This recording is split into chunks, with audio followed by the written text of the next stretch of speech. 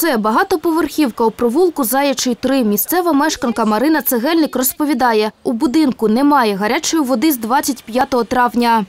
У мене вдома двоє дітей. У мене вдома двоє дітей. Одній рік, другій два роки. Старша дитина має важку форму інвалідності, і їй постійно потрібен особливий догляд. Без гарячої води важко.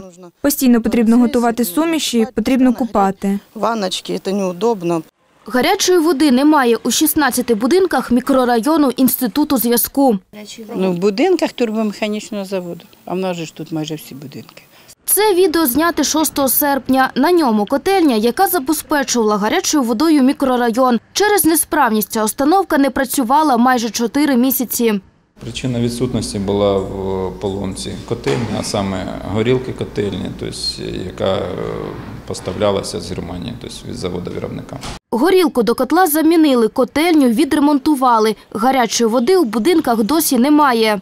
Подана заявка в Полтава газ на розпломбування котельні, тобто тільки вона буде розпломбована, на наступний день ми можемо подавати гарячу воду.